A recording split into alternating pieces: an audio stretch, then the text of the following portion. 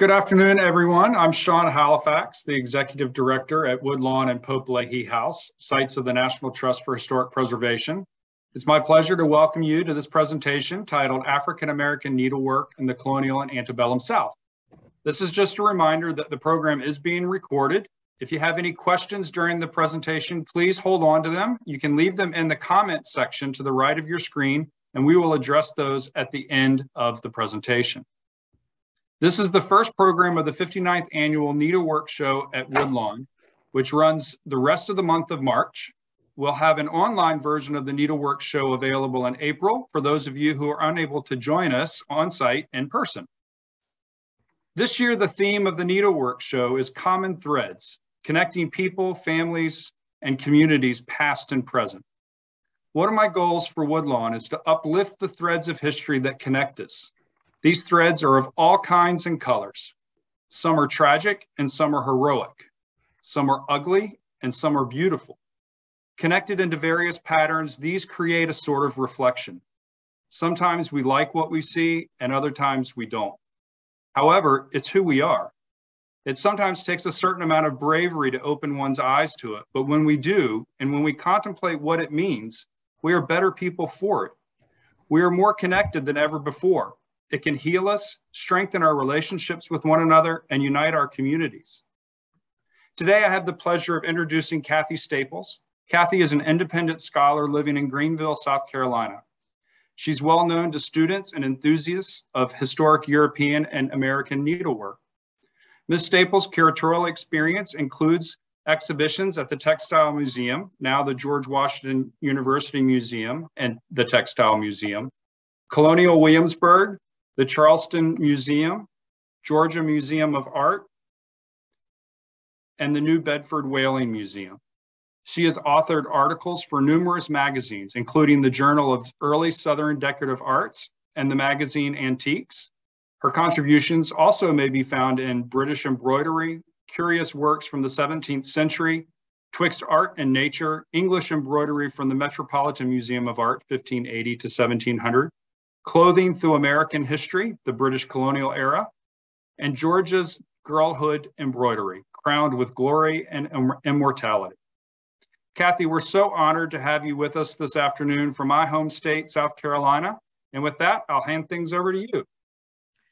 Well, thank you, Sean. I'm really glad to be with all of you via the virtual um, realm here. And uh, this afternoon, my talk is going to center on African Americans and um, those uh, uh, women of African descent.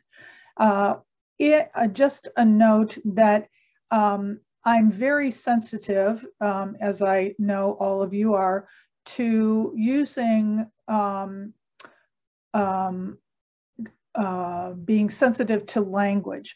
And so I will be using the word Negro every once in a while in this lecture, but it's only because I'm quoting something that was written either in the 18th or the early 19th centuries.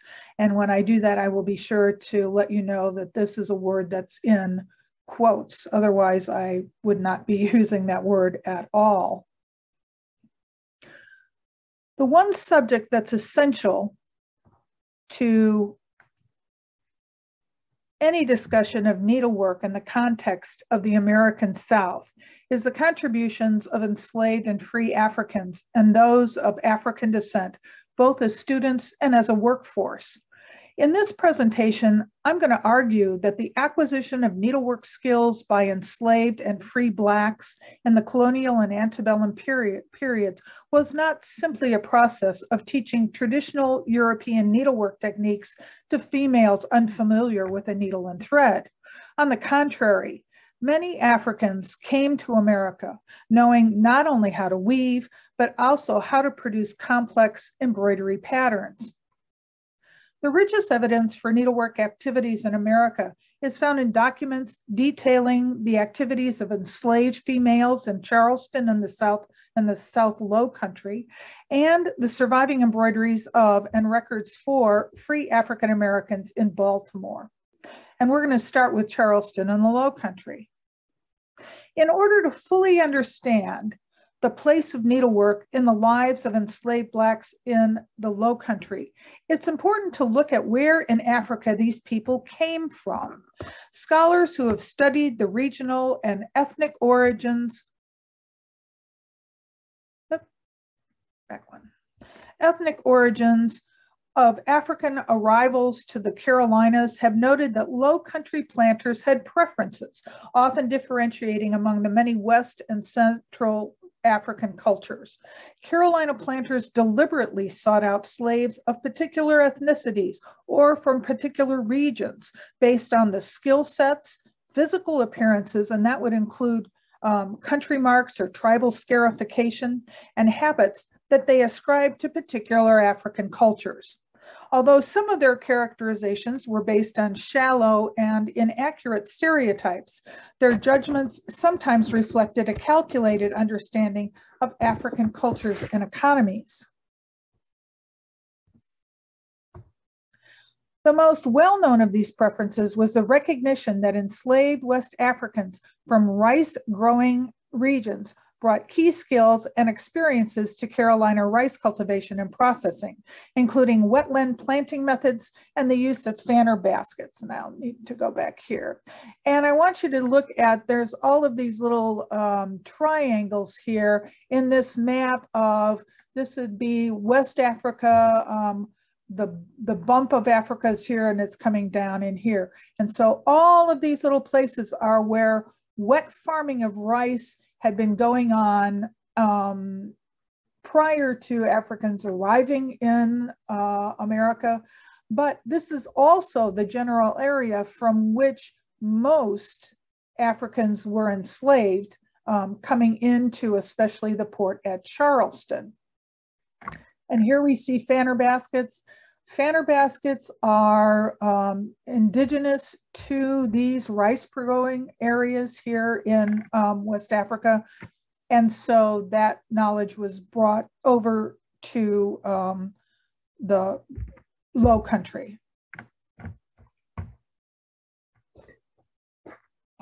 According to the Charleston planter Henry Laurens, South Carolina planters preferred to purchase Africans from the Senegambia region, and that's going to be right up in here. And that's also a right, big rice production um, area. And by the end of the colonial period, almost 20% of African arrivals were from that rice growing area. But not only geography, but religion played a great part in the rapid establishment of a skilled enslaved um, Black workforce in the Low Country. Centuries before Africans were forced to colonial America, Islam had made its way to West Africa from Egypt and Northern Africa through these caravan trade routes, um, um, also from the eastern part of Northern Africa, coming on down into what is Mali, into what is now Nigeria. And the two big cities um, that we would be looking at here are Timbuktu and Djenné. Uh, these are major cities, very cosmopolitan. This is in the area well before where we have um, we have uh, contact with Europe. Um, but Islamic traditions were brought into this area um, through traders, merchants, scholars, and religious leaders. Through time, the Islamic belief system blended with traditional West African practices to establish a faith that was specific to the region. In, idea, in addition to ideas, Islamic merchants and their caravans brought via the Sahara salt, horses, and books to trade for gold, ivory, and slaves. Textiles and needlework techniques, counted as well as surface, were also introduced from Northern Africa and especially Syria, which is going to be up in here, and Egypt. Think um, for those of you who've um, either heard me lecture about very early um, uh, double running and reversible techniques, this, all of this um, started out in Egypt and then Syria. And those techniques and traditions made their way along with ideas and goods to West Africa. In addition, West Africa was already home to a number of deep-seated weaving and dyeing traditions, such as silk tombé tune wrappers and cotton uh, Bogolan Fini of the Dogon people of Mali. That's the Empire of Mali right here, and then down into Nigeria. Um, and the embroidered men's tunics called riga, made by the Hausa men in the area of present-day Nigeria. All of this suggests that at least some enslaved low country individuals were skilled in needle and or needlework production before they arrived in America. Although there's currently no documented Charleston, South Carolina sampler or good girlhood embroidery associated with enslaved or free Black makers, documents such as newspaper advertisements and diaries attest to the formal acquisition of female of Western needlework skills by Black girls and young women. From 1732 in its inaugural issue until the beginning of the American Revolution, South Carolina Gazette included notices for enslaved females for sale or hire that mentioned needlework skills. For example, in 1734, to be sold at public sale, quote, a Negro girl who can work very well with a needle. In 1745, quote, to be hired out, a homeborn Negro girl, that means she was born in the colonies rather than in West Africa, about 13 or 14 years of age who has been for some years past kept employed at her needle and in 1749, quote, to be sold at auction, Patty, a young girl bred to needlework and to wait on her mistress. Perhaps some of these skilled blacks had knowledge of African needlework techniques and adapted them to suit Western tastes. One might conclude that these enslaved were trained by their mistresses, yet contemporary documents such as the notices here on the screen offer evidence of alternatives, the apprentice system, and the same informal and formal schools of which the daughters of white citizens took advantage. In some cases, it's clear that an apprentice student was enslaved, not free, and her owner paid her school fees. Consider the following examples from Charleston, all of which reflect the level of artisan specialization that some enslaved women achieved. On May 12, 1747, merchant and factor Robert Pringle recorded in his letter book, quote, this day I agreed with Mrs. Smith at White Point, and she ran a very um, fashionable boarding school for white girls, to take my Negro girl Peggy to lodge, board, and instruct her one whole year in sewing, etc., for 20 pounds currency. He is paying her, he is paying the teacher this amount of money for a whole year's worth of instruction.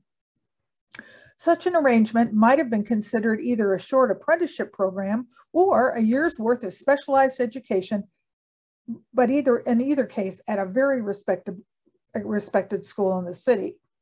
In 1769, an anonymous master announced, quote, to be sold, the owner having no employment for them, a family of Negroes. The girl has been to school some time to learn to sew. And in 1777, for private sale, quote, a very likely young house wench, this country born, about 22 years of age, who is as complete a washer and ironer as any in this state, and is likewise a good seamstress, having been taught her needle at school for three years.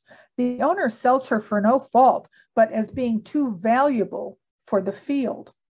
The fact that some white school mistresses advertised that they would accept only white children into their care strongly suggests that other teachers were willing to instruct Africans and African Americans along with whites. In most cases, however, the legal status of these Black girls is uncertain. Were they enslaved or were they free? Anna Maria Hoyland, whose teaching career spanned over 50 years, first advertised her day school in 1751. She was, quote, obliged to all who will favor her with their children, which shall be carefully instructed in working, reading, etc. Two months later, she ran her notice, but with the following caveat. She continues her school carefully to teach white children reading or sewing. The implication here is that is perhaps that um, a mistress of a household wanted to send her enslaved servant to school with Mrs. Hoyland. The next decade, similarly, Ann Cox advertised her mantua making business as well as teaching children to read, sew, mark, and Irish stitch. She takes none but white children. But other teachers often integrated or segregated instruction. In 1762, Anne Hampton was greatly obliged to those who were pleased to favor her with the care of their children or servants, and read here enslaved for the word servant. After the American Revolution, Mary Connolly advertised her day school where students will be taught to read, spell, needlework, and, quote, a few Negro girls will also be taught at the same price, one shilling a week, plain needlework and marking. And in March of 1803, Mademoiselle Emilie announced that she teaches young misses of color every kind of embroidery at her house from 9 to 12 o'clock a.m. And she may have been the Emily Belleton listed in the 1802 Charleston Directory. Surviving Southern slave made needlework, primarily quilted objects, dates to the 19th century. Gladys Marie Fry, whose book Stitched from the Soul is a classic work on African American textiles, has noted that enslaved women made quilts for the mistress and her family, as well as those for personal use. A number of quilts from this first group has survived. Family tradition, family tradition maintains that the elegantly designed, stitched, and stuffed work dressing cover shown here was executed by one or more household slaves on a low country plantation about 1815. The top and the lining of the cover are cotton, and the design outlines were worked in backstitch. Johanna Davis constructed this broderie perse quilted bed cover sometime between 1845 and 1853 when her first child, Susan Davis, was born. She was in her early teens at the time, but already a skilled mantua maker and dressmaker. She may have been a free Black artisan rather than a slave, and possibly made this quilt for a client. And as many of you know, broderie perse is the applique of printed chintz motifs that have been cut from a whole cloth um, to make different kinds of patterns in his design. And of course, this selective cutting makes extravagant rather than economical use of fabrics. So um, Johanna Davis may have made this as a commission for someone so that the um, uh, woman who wanted her to make it provided all the materials. It's also important to note here that it's likely that the majority of quilts produced in South Carolina during the antebellum period and attributed to white makers display stitches worked by unknown black hands. And this would be especially true when it got to if there's piecing to be done, um, that is generally um, assumed to have been done by uh, white females. But once you get to the putting together and actual quilting of um, of these objects, um, then uh, and a very skilled enslaved household uh, seamstress would have stepped in Although the number of identified quilts made for personal use of a slave and her family is regrettably quite small, the reminiscences of former slaves recorded by the WPA and other educational groups in the 20th century testify to their construction. Slaves used material left over from their plantation clothing allowance worn cast off clothing, and sacking fabrics, and supplementing these with purchased textiles. For example, a Georgia slave recalled, and this is paraphrasing, Grandma brought her feather bed with her from Virginia, and she used to piece up a heap of quilts out of our old clothes and any kind of scraps she could get a hold of. Louise Evans, a former slave from South Carolina, remembered that she, quote, used to wait on the girl who did the weaving. And when she took the cloth off the loom, she done give me the thrums, when the thrums are the ends of the fabric on the loom, so that then Louise could make something else or use those uh, in part for patchwork. A North Carolina ex-slave expressed the danger, however, that quilting into the night in slave quarters could bring. My mama, she worked the field all day and piece and quilt all night. Then she had to spin enough thread to make four cuts for the white folks every night.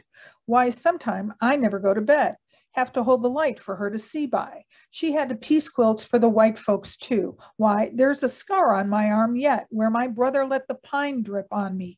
Rich pine, which is pine tar, was all the light we ever had. My brother was holding the pine so I could help mama tack the quilt and he'd go to sleep and he let it drop.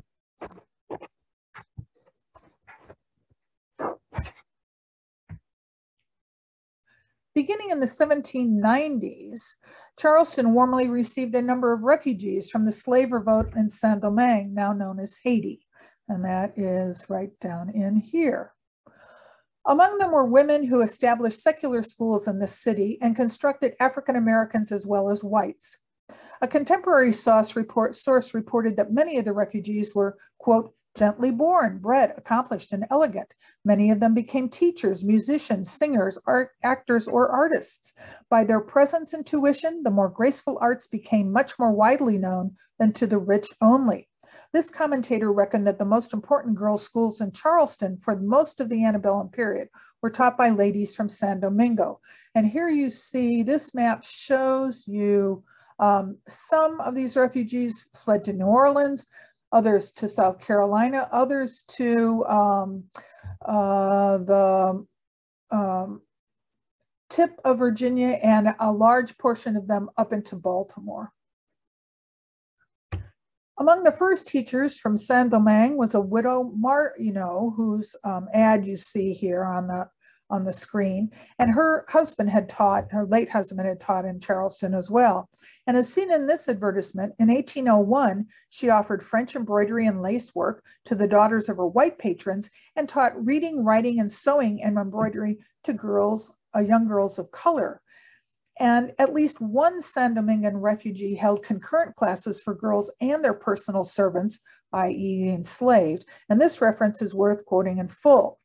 At the first of these schools run by a Caribbean refugee, there was a peculiar class when the carefully conducted young lady took her books from her maid, i.e. her personal slave, and entered the house door, the maid entering by the gate proceeded to the servants' hall, and while ces demoiselles were saying their verbs, reciting Racine or reading Telemaque, the maids were learning fine sewing, darning and marking, lace washing, and, and manners, all taught by the mademoiselle's good Creole maid, Annette. So we have concurrent lessons downstairs for the personal servants of these girls, and upstairs then um, uh, embroidery um, and other things taught by a, uh, a white woman.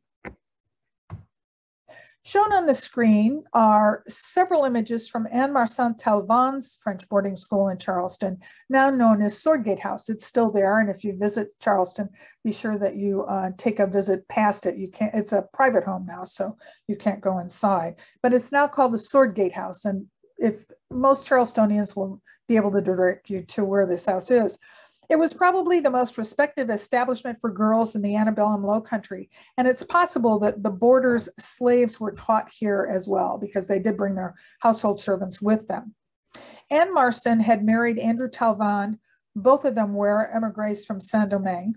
By 1816, she had established a ladies' school at 22 Broad Street, and for close to three decades, Charleston's elite considered Talvande's school the most prestigious.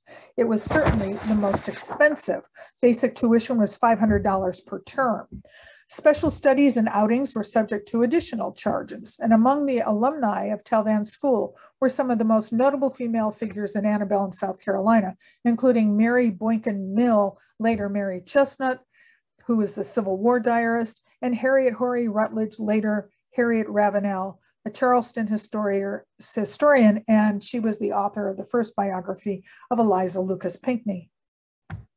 It's quite a journey from Charleston, South Carolina to Baltimore, Maryland. Although both provinces ascribed to the culture of slavery, Baltimore supported a needlework education offered through church connected schools to free African American girls during the antebellum period. Why these schools were allowed to exist is a function of the balancing act that Maryland maintained in supporting a slave economy, while at the same time acknowledging the economic value of its free Black population. After, um, after 1820, Baltimore was actually referred to, quote, as the free Negro capital of America, at a time when the legal status of free Blacks was increasingly being called into question in other Southern states. Tolerance of free Blacks in Baltimore was by no means universal, and many whites sympathetic to abolition subscribed to the notion of inherent Black inferiority. But despite these prejudices, there was enough financial support in Baltimore's white as well as Black communities for the establishment and operation of two institutions for free girls, quote, of color. These were the Oblate sisters of Providence School for Colored Girls, and St. James First African Protestant Episcopal Church School. These two schools offered the daughters of unskilled laborers and domestic servants a curriculum that included sampler making. As the late Gloria Seaman Allen noted, these embroideries were equal in design and craftsmanship to the more widely known needlework produced by white, middle, and upper class girls in Maryland. Because of South Carolina's strict slave clothes, clo- slave codes, which also applied to free blacks, these institutions in Baltimore would have been prohibited from operating in antebellum Charleston. And I really must add here that from now on, when I'm talking about um, these um, two schools, that I base my research on Gloria Allen's own. And so uh, she's owed a great debt um, for all to, uh, from all scholars who have used her work um, to help understand um, African American education, especially of women in uh, this period. And so we're talking about Baltimore right here. Longstanding religious tolerance and two foreign revolutions facilitated the establishment of the Sisters of Oblate in Baltimore. From its formation, the colony of Maryland was intended to be a refuge, refuge for English Catholics who suffered under the prejudice of the Protestant majority. In 1632, Charles I, the English king, British king, a Catholic sympathizer, granted Cecilius Calvert, Lord Baltimore, approximately 12 million acres of land to own and govern as a proprietary colony. In encouraging both Catholics and Protestants to emigrate, Baltimore planned to demonstrate that a policy of religious tolerance would foster harmonious relations between the two religious groups. In the 1700s, laws and prejudices continued to discourage the emigration of Catholics to many of the colonies. However, freedom in religious practices was still a hallmark of Maryland society. So in 1789, that city became the official seat of the first American diocese of the Roman Catholic Church. Just two years later, Catholics fleeing the French Revolution found Baltimore a safe haven. And among these immigrants were Sulpician priests who, upon settling, established a seminary for the education of young men to the priesthood.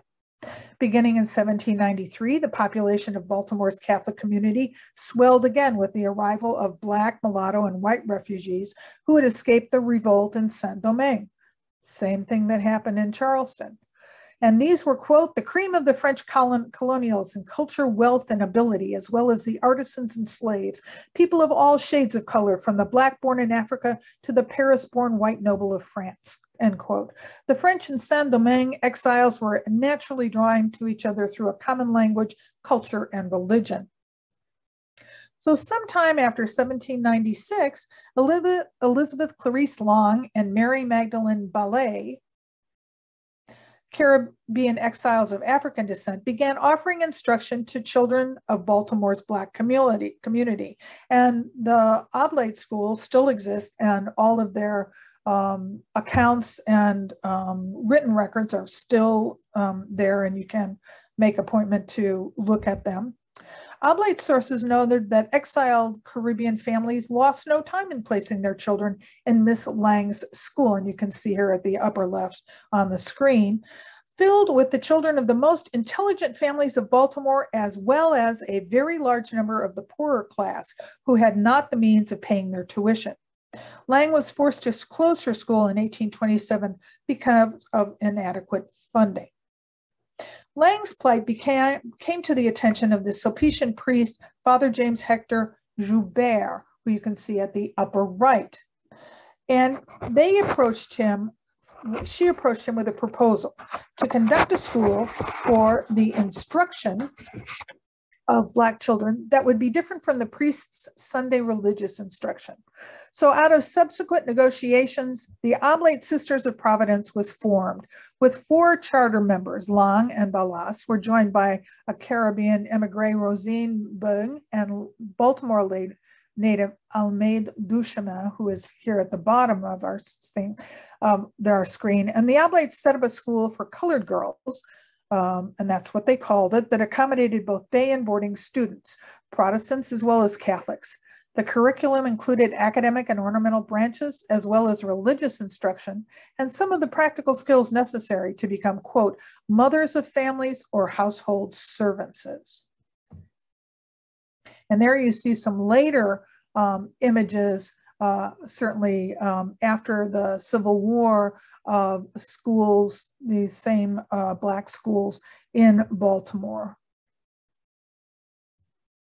Between 1810 and about 1841, White girls worked a number of Baltimore samplers, now known as the Eyeglass Gate Group, under the guidance of several teachers. In general, these samplers feature a brick house flanked by a pair of trees and a grassy yard, enclosed by a fence constructed of iron palings set into a brick foundation.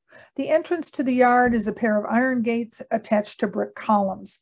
The gates with the repeated oval design re resemble pairs of wire rimmed spectacles or eyeglasses. The three examples of this style are seen here worked from upper left to lower right, Matilda Wedge in 1810, Anne Barriere in 1820, and Anne Ashcombe in 1832. So you can see that the style doesn't change very much over um, basically uh, 20 years. Compare the previous trio then with this sampler, which an oblate student, Frances Bush, completed in 1830.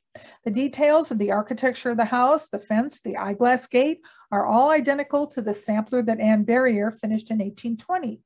Frances signed her work, quote, Baltimore, February the 17th, 1830. Frances Bush, to her dear mother, worked in the School of Providence. So she actually made her sampler a presentation piece to her mother. Accounts from the early years of the Oblates reveal that Frances, Frances Bush's mother, Susan Hill, was a laundress at the rear of South Charles Street in central Baltimore. Susan enrolled her daughter as a day scholar in July of 1829. She paid $8 in five installments, which kept Frances in school for four quarters from September of 1829 to early August of 1830. Another oblate student, Mary Petz, altered her sampler, com sampler composition by shifting the house to the right and filling in the left with a bucolic scene of a shepherd and shepherdess with a flock of sheep. She stitched, quote, Baltimore, December the 4th, 1831, Mary Petz to her dear parents, worked at the Oblate School in the 10th year of her age. Again, another presentation sampler. She was enrolled by an unidentified person as a day scholar in the Oblate School in May of 1830. Over time, $12 was paid for six academic quarters, placing Mary in school from the 1st of September 1830 until early spring of 1832, and an additional 37 and a half cents covered the cost of her books. As you can see, the samplers worked at the Oblate School compare favorably to the products of more elite schools of the day. These samplers are especially important documents because they speak to how samplers were perceived in an antebellum society as definers in part of social standing. The oblates appropriated an elite embroidery style, perhaps to demonstrate the skill that African American girls could achieve. Although there are no samplers known to have been made after 1831, the school continued to offer comprehensive instruction in needlework. Several Berlin work pictures worked by the Oblate students are known from the 1840s and 1850s, and although they have no stylistic connection to the samplers work by white schoolgirl, schoolgirls in the 1820s and 30s, they do follow the popular fashion of pictorial needlework produced in the United States and Western Europe during this period. And so in 1846, Rachel Ann Lee completed this pastoral in tent stitch at the school. And another um, in 1848, Mrs. C. Solomon enrolled her daughter as a boarding student for one quarter, and you can see Sarah's work here. She paid $18 for board and tuition in advance. Her daughter was probably the Sarah Solomon who worked this large canvas of the young St. John holding a lamb. Above the saint's head, Solomon stitched his name in German, so it sent uh, Johannes. And my guess is that's because the um, the Berlin work pattern from which this was taken um, also had the name in German. I don't understand why I can't get. Oblate students continued to work religious, secular, and patriotic themes long after needlework was eliminated from the curriculum of most schools. Although her embroidery does not survive, the account for Emma Brown's needlework activities as a boarding student is extant. And here you see a blow up from that page saying that the fee was taken from, this fee was taken from the 1853 to 54 account and indicates that her mother was charged for those embroidery lessons and framing the embroidery and ditto for framing a sampler. This is another sampler, um, needlework picture work by Samaria Gaines in Baltimore, July 1859, uh, and she names the Sisters of Providence School. She first enrolled as a day scholar in 1858. She completed her composition just in time for an exhibition that was advertised in New York's Weekly Anglo-African. And um, and the oblate students' needlework was praised at the end of the year exhibition. She first enrolled as a day scholar in 1858, and school ledgers and annals document that her attendance from the summer of 1858 through the summer of the next year. She joined a student body of approximately 150 girls, 30 of whom were boarders. And she received a premium for good contact, good conduct, and her father paid her tuition at the rate of $1.50 per academic quarter. And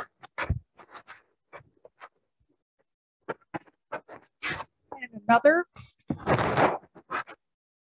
um, Adele Lattimore, born in 1852, executed this in 1865, um, also at St. Benedict School in Baltimore, which is another school um, for um, that grew out of the Sisters of the Oblate.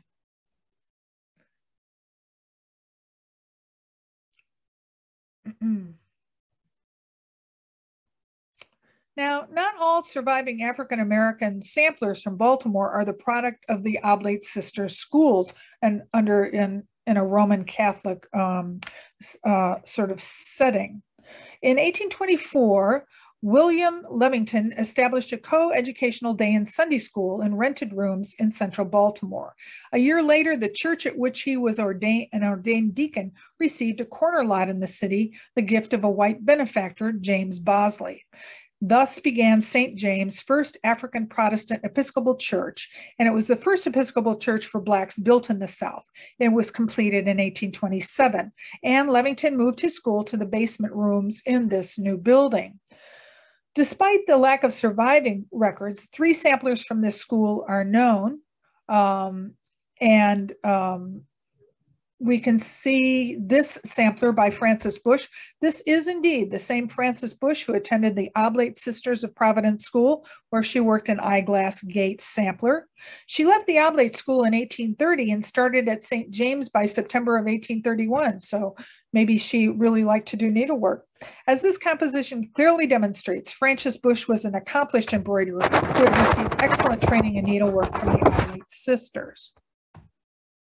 The most significant St. James embroideries that are currently known is the composition that Levington himself worked at least a little bit of in 1832.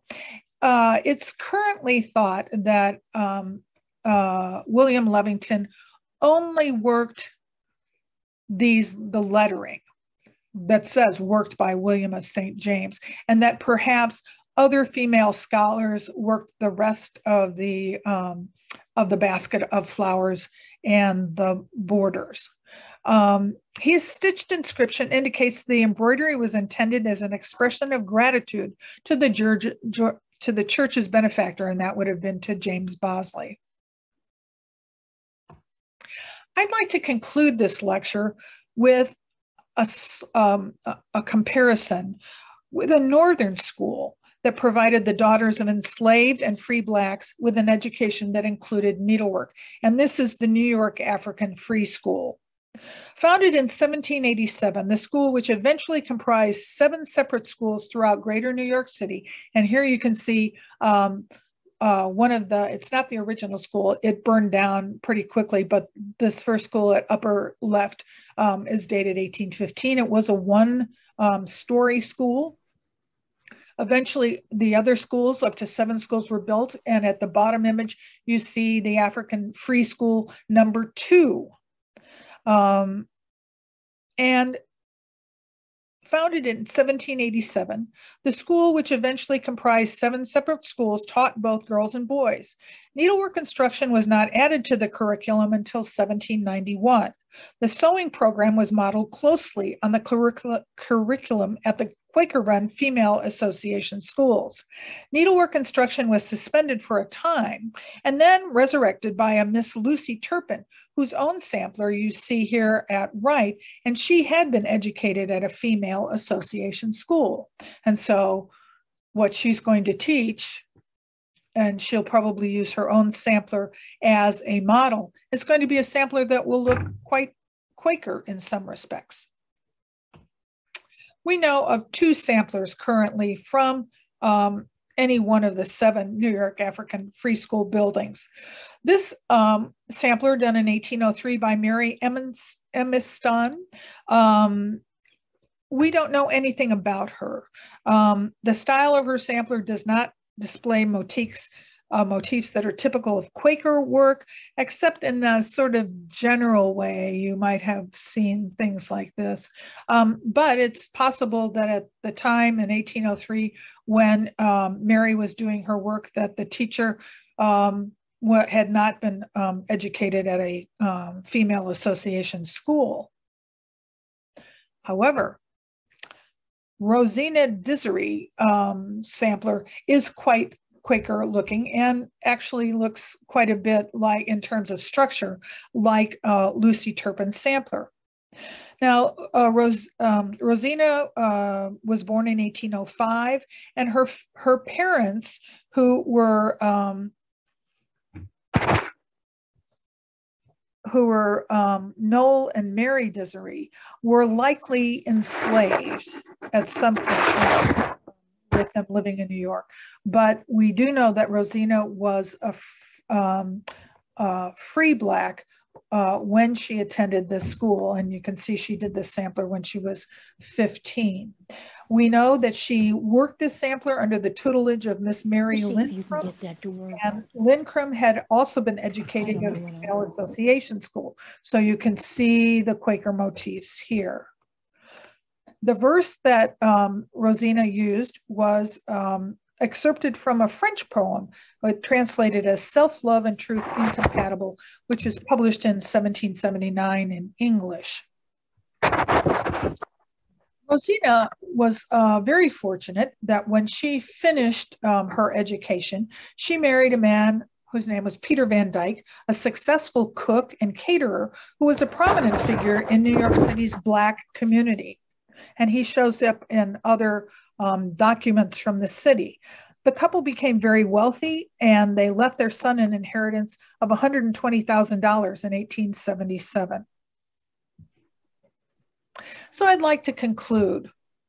The presence of Africans and African Americans was not a marginal feature of needlework instruction and production in the early South. The institution of slavery defined the structure of that education and supported its economy. But as the above de discussions demonstrate, both enslaved and free Blacks had some degree of agency. In fact, had a long history of embroidery and textile production in West India, when, excuse me, West Africa, from where the greatest majority of Africans who were taken to be enslaved in the Americas came from. And this suggests that the previous skill sets of some Black females perhaps were prized and then augmented with instruction in Western needlework techniques. This is just a starting point for further investigations uh, along these lines. But I think in future that um, in terms of reading more documentary evidence um, for both sides of the Atlantic that we're going to be able to get at um, even um, more evidence of, of agency and efficacy within um, certainly the enslaved Black community in, um, in colonial America. And I thank you so much for listening to me this afternoon. And I'm happy to take on any questions that you have. Um, and I hope I'm able to answer them.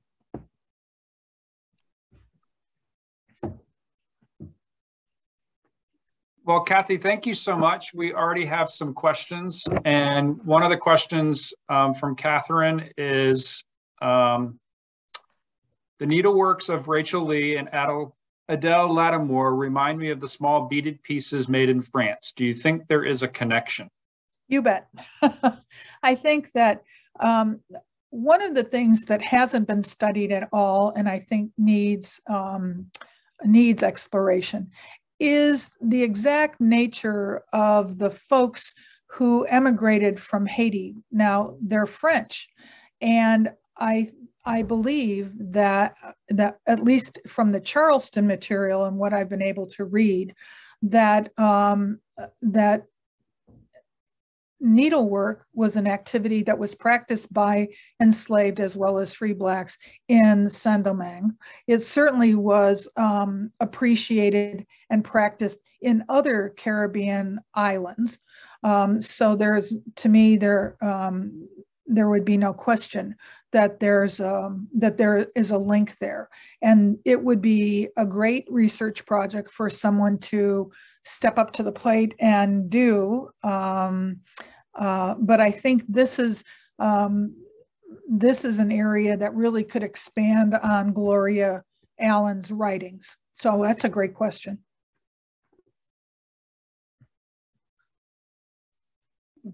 Kathy, Sandy um, has a comment and a question. It looks, or yeah, comment and a question. Um, uh, she says, "So wonderful the work with sheep. Were these based on motifs normal at the time, or would they have been on farms in the area? I'm from Baltimore. I'm from the Baltimore area originally, an animal scientist, so increased interest. Thank you."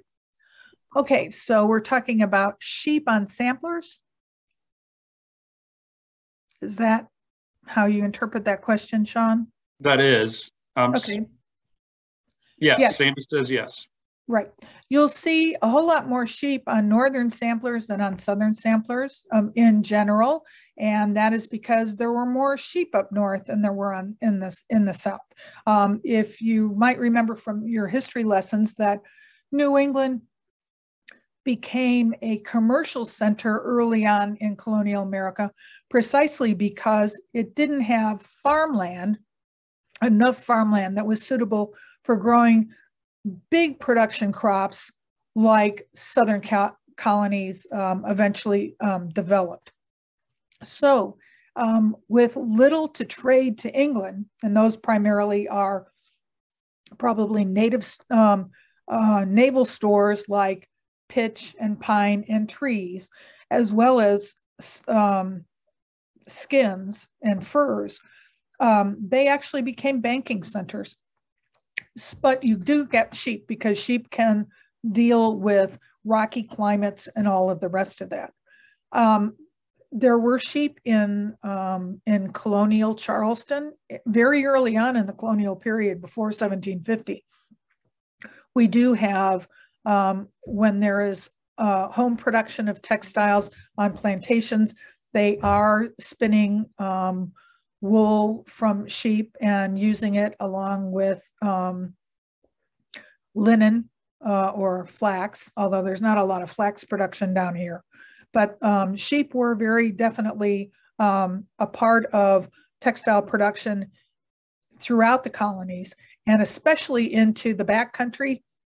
If we consider um, the um, western part of Virginia and then all of Pennsylvania, sheep important commodity, important um, not only for uh, meat, but also for production of those beautiful blankets that you see coming out of, uh, for example, a Mennonite tradition and down, down into um, what I call a Valley of Virginia tradition of very brightly colored uh, plaids and checks. Good question. Um, Kathy, I, when I moved to Charleston, uh, back in the late 90s, I was uh, very surprised to see, I was working at Middleton Place and I was very surprised to see all the sheep on the lawn, yep. keeping the lawn yep. mowed at Middleton yep. Place. Um, and it was the dead of summer when I went there and I was sweating terribly and I couldn't imagine those poor sheep um, in that heat. Right. Um, another question is, can you explain what features and elements determine what a should determine whether a sampler was a Quaker sampler? Oh, um, if you look at the earliest um, of the Quaker samplers made in this country, they were made in England before they were made here. And in fact, the, the Quaker style actually um, developed directly from a style that was of sampler making that was being done in uh, Yorkshire, England, at a Quaker school there. And in fact, a sampler from that school was brought over to this country so that they actually, so that teachers actually had something to go by. But uh, in general, um, Quaker samplers are, uh, especially those from the earlier, an earlier time period, are, um, this would be uh, by early, I mean the late 18th century, are um, characterized by um, a plainness. Uh, many samplers have just writing with a few little motifs like uh, two birds facing each other. Um, and they'll also have lots of, um, there may be geometric shapes, uh, octagons, half octagons, quarter octagons. Um, the color palette is, um, is limited and is more subdued in general. Um, and you get, um, as, as the style goes on, the Quaker samplers take on little sprigs of flowers um, and, um, well, I can back up and show, let's see. So you see these little sprigs of flowers here and these little tiny baskets of flowers. You'll also see baskets of flowers on non-Quaker samplers, but it's just they're very it's uh, there is a delicacy to um, I think to Quaker work um, that um, that you don't get in other sampler traditions. And then of course going into the 19th century, there were non-Quakers who borrowed these elements because they were um, so appealing. Um, so that you can get some a sort of lighter um, visual weight to samplers. I hope that kind of um, gives you an understanding of that. Yeah, and Kathy, we'll have um, later on this month, if you're if people are able to join us in person here at the show, um, and actually now on display, we have some reproductions of Quaker samplers, several oh, reproductions of Quaker samplers on on display, mm-hmm. um, and that'll be a part of a, another program that we're doing later on in the month. Joanna asked, um, do you think that the China silk routes had an influence on the needlework skills of women in Africa? Yep.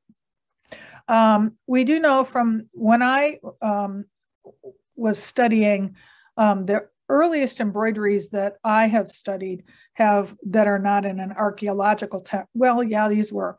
Uh, they're coming from an archaeological context. Were um, embroideries and actually knitting that came out of archaeological sites in um, Egypt, um, and they were made during a period in which, um, uh, which is called Mamluk Egypt.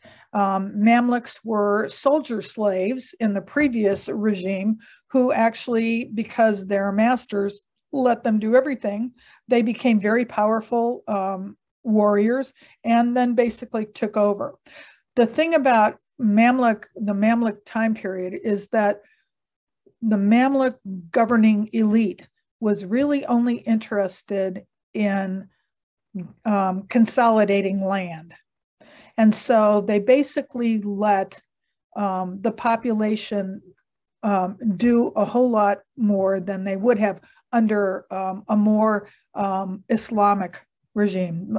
Egypt was Islamic, but there were Christians and Jews who lived there as well. And we're talking a period from um, maybe about 1140 until 1400, something like that. And so there was a rise in artistic use of um, in ceramics and in calligraphy and in embroidery.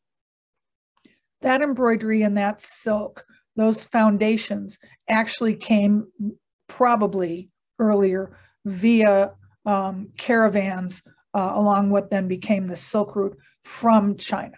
Um, we know during the Han Dynasty, for example, that um, that there was uh, embroidery as well as textile production that made its way across from China through northern Africa and end up in um, in Rome, and actually end up in further up into uh, Western Europe.